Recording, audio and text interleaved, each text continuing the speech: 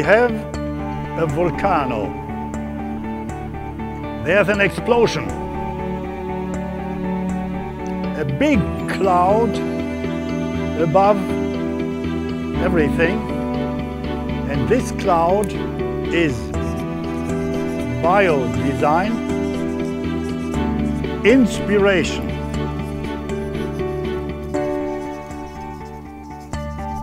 And the fallout of this cloud is rain, inspiration rain.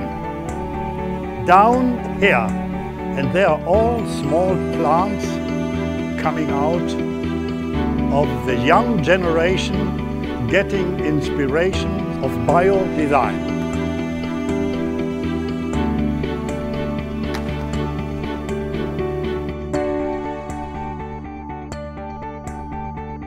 As a bio-designer, I take 80 to 90% nature and I translate nature into intelligent things.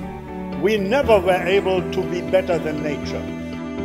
The challenges are everywhere and they are new every day.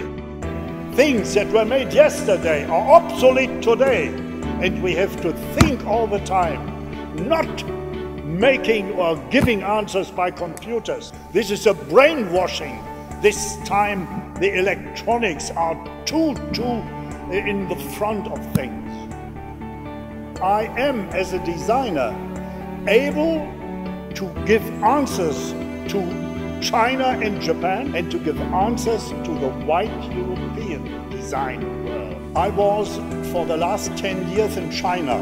I noticed that is not in the moment the place to think of things of tomorrow.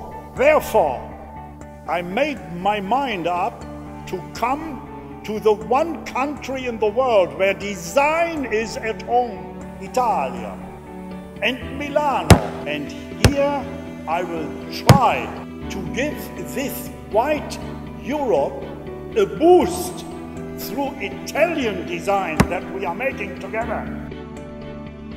Il futuro è a Milano.